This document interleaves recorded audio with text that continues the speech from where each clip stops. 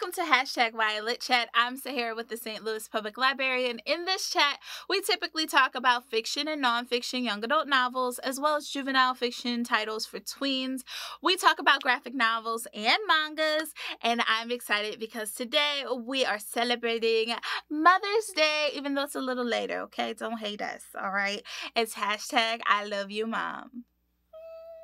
Let's get into it. For today's novel, we have a young adult fiction title called Far from the Tree, and this is written by Robin Benway. It was published by Harper Teens Publishing, and it is available on Hoopla and Overdrive in audiobook format, and also on Hoopla in ebook format. Now, this is a really great novel. It's about Grace, who is an adopted kid, and she's the only child, and she is trying to figure out who her biological parents are. Now, the reason this comes up is because because she gives birth to her daughter at 16 and she gives her daughter up for adoption. Now, when she does find her bio family, she discovers she has a younger bio sister and an older bio brother.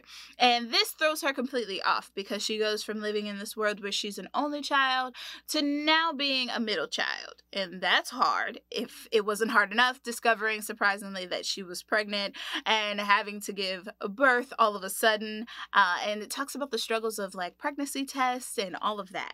So I'm going to share a little bit about her story with you with the first chapter. It's entitled Grace.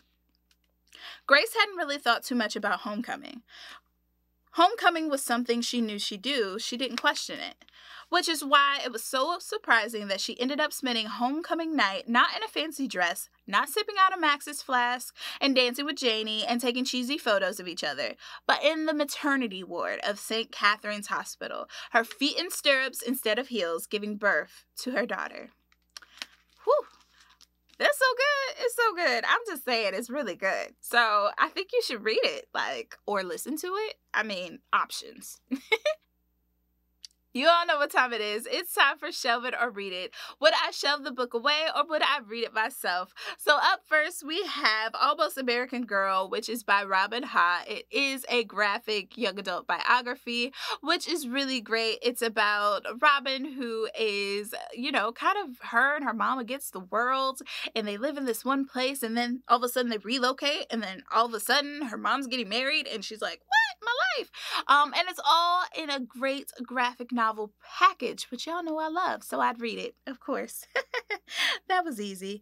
Let's go to the next one. It's Enrique's Journey, which is by Sonia Nazario, and it is a true story of a boy determined to reunite with his mother. And this is where it was adapted from a longer nonfiction book to a shorter young adult reader selection and I think it's worth reading. It is really amazing just from how it's about a teenager from Honduras and he's on this journey to find his mom and that's where my heart resides. So I love you, mom. I'd read it. And then the last one we have for today is Red, White, and Whole.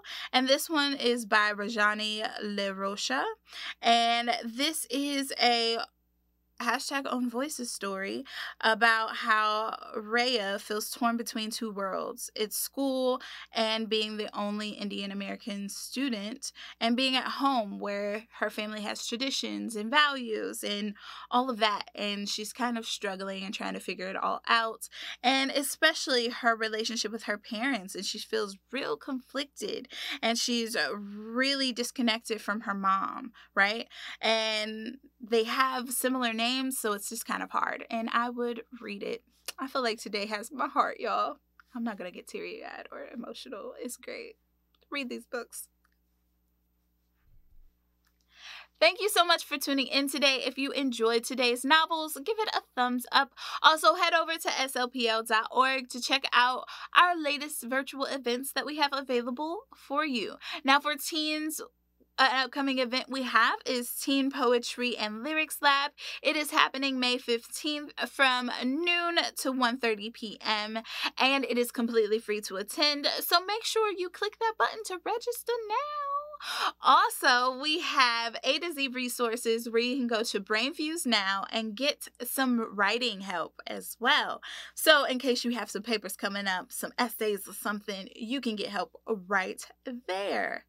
I would like to thank you for watching today, and I would like to also thank the author of today's novel, which is Robin Benway, and I would also like to thank Harper Teens Publishing. I look forward to seeing you next Friday at noon so you can hear about your latest new favorite.